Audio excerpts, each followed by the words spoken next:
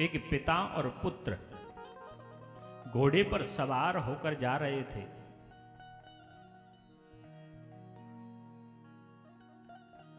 दोनों को आगे कोई नगर मिला। नगर में लोग थे। लोगों ने कहा, देखिए, कैसे निर्दयी लोग हैं। अरे, एक घोड़ा जिन, घोड़ा जिनके पास पास है और दो दो हट्टे कट्टे पुरुष एक घोड़े पर बैठे हुए हैं। इनके अंदर जरा जरा भी दया नहीं है। बेटा ने कहा, पिताजी, आप इस घोड़े पर बैठ जाइए और मैं थोड़ा पैदल पैदल चलता हूँ। पिता घोड़े पर बैठकर चलने लगा, पुत्र पैदल पैदल चलने लगा। आगे फिर कोई नगर मिला। नगर के लोगों ने देखा कि देखिए, कलयुग का प्रताप। एक पिता में दया नहीं, एक छोटा सा बालक पैदल चलता है। हट्टा कट्टा पिता घोड़े पर बैठकर चलता है। पिताजी ने कहा, पुत्र, आप ही इस घोड़े पर बैठ जाइए, मैं पैदल चलता हूँ।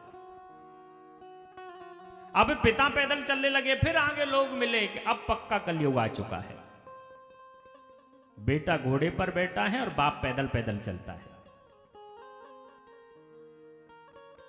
दोनों ने विचार विमर्श किया। हम दोनों को पैदल ही चलना चाहिए। अब दोनों लोग फिर पैदल पैदल चलने लगे। आगे नगर में कुछ लोग मिले। लोगों ने कहा, देखिए, हमने मूर्ख तो संसार में बहुत देखे, लेकिन इनके जैसा नहीं देखा।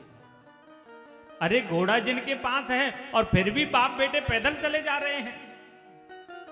प्रिय सज्जनों, समझना ये संसार भी ऐसा ही है। आप कुछ भी करोगे, उसमें कुछ न कुछ आपकी कमियाँ ये संसार खोजेगा। लेकिन आपको संसार में नहीं फंसना है। आपको केवल और केवल गोविंद के उस नाम में, गोविंद के रूप में खोना है। वो अविनाशी ब्रह्म वो परम पिता, परमात्मा, वो जगत का नियता, वो जगदीश्वर। इस संसार में खोजने से नहीं, अपितु उसके नाम में खोजाने से आपको प्राप्त होगा। अभी सब्सक्राइब करें हमारे YouTube चैनल ईश्वर टीवी को और देखिए वीडियोस सबसे पहले।